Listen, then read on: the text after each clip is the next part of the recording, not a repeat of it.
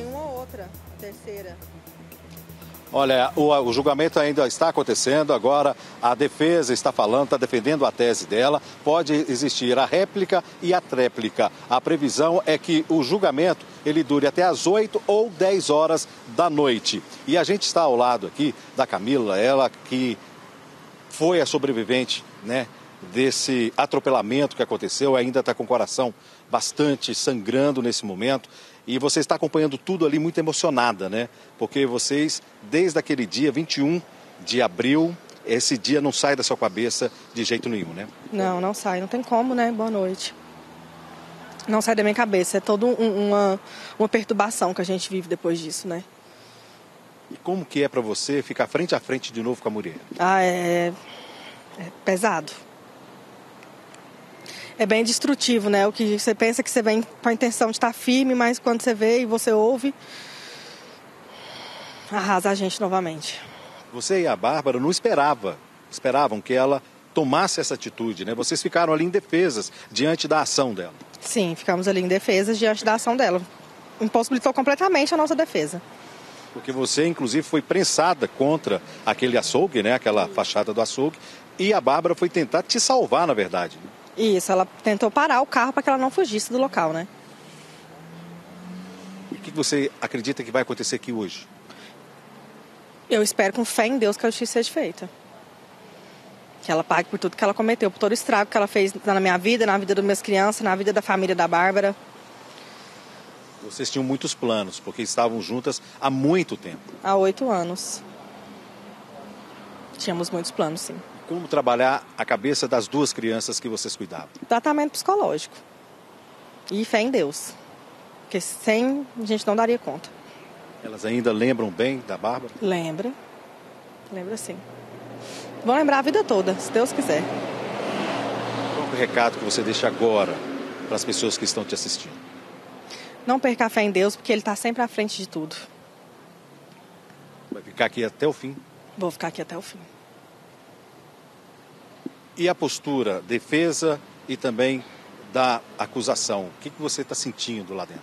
Eu acho que, que, que, no caso dos advogados dela, eles não têm muito argumento, né? Eles ficaram muito precisos em minutos e horas e não, não tem muita argumentação deles para manter o que eles querem dizer. Porque contra fatos não há argumentos. Então, é isso. Branquinho quer fazer uma pergunta para você. O, o que, que a defesa dela que, quer dizer? O que, que a defesa da Murielle, pelo que ela está acompanhando aí, ela que também é vítima, a Murielle também está sendo julgada pelo crime que cometeu contra ela, que é a tentativa de homicídio, é um homicídio tentado e um homicídio consumado. O que, que a defesa tenta dizer? É tentar falar que ela estava sob efeito de remédios, estava fora de si para praticar tamanha maldade? Você estava acompanhando lá e o Branquinho está perguntando justamente isso. O que, que a defesa da Murielle tenta defender? Que ela estava não estava consciente é, a, a, sobre os medicamentos que ela toma. É, o que, que você sentiu da defesa? Não, quantos medicamentos tem como, não tem como eles tomarem, porque já foi provado que ela teve a... a... Ela sabia do ela que sabia o que ela estava fazendo, entendeu? O que eles tentaram fazer foi com que a gente entrasse em contradições entre todas as outras testemunhas, né? E tentaram fazer com que a gente entrasse em contradições de quem estava vendo de um lado, de quem estava vendo de outro. E também tentando desqualificar vocês, né? Isso, tentando desqualificar a gente. Porque aquilo tudo que aconteceu não seria motivo de ter tirado a vida da Bárbara e tentado contra a sua. Não, não seria motivo. Obrigado aqui pela participação. Ela está muito emocionada, inclusive, né, o Branquinho, com toda essa situação, porque o julgamento já dura mais de 10 horas. Né? A previsão que vá até no máximo às 10 da noite. Então, eles, a família toda está muito cansada, está com uma expectativa muito grande em relação ao que vai acontecer quando os jurados derem o veredito. Douglas, é, tem, uma, tem uma coisa que tem me chamado a atenção demais. Eu creio que você também fez reportagens desse caso, eu também fiz reportagens desse caso. Eu me lembro muito bem, eu tenho uma memória boa para esses casos. E aí é, é, o pessoal muitas vezes da defesa, claro, todo mundo tem direito à defesa, fica tentando colocar isso, né, como se a pessoa, ah, estava fazendo uso de medicamentos, aí misturou com bebida alcoólica e tudo. Aí eu fico pensando, quantos casos estão sendo assim? Aí fala que a pessoa estava em surto. Olha o caso daquela mulher lá que atropelou e matou o seu Edivaldo lá em Senador Canedo. Tá, desceu bebendo, disse que estava tomando remédio. Então, assim, aí todo mundo, hoje em dia, a maior parte das pessoas, querendo ou não, a gente tem alguma coisa ou outra, né? A vida está bem complicada, questão de ansiedade, tudo. Todo mundo está acabando que tem que tomar remédio, tem que fazer tratamento. Agora, se todo mundo tomar remédio, fazer tratamento, misturar com cana e virar criminoso, aí não dá. Como é que vai ser, Douglas?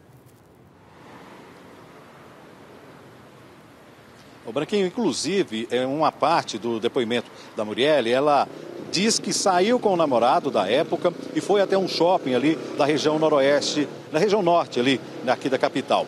E a promotora é, falou com ela, ah, mas se você toma remédio controlado, por que você fez uso de bebida naquele dia? É porque eu estava com ansiedade. Então essa foi a justificativa dela de ter tomado bebida antes de cometer o crime. Não tem justificativa, não tem. Valeu, Douglas. Qualquer novidade aí do caso, se o julgamento acabar sendo antecipado, você pode chamar que a gente faz o link direto aí contigo. Prioridade ouvir. Valeu, meu irmão.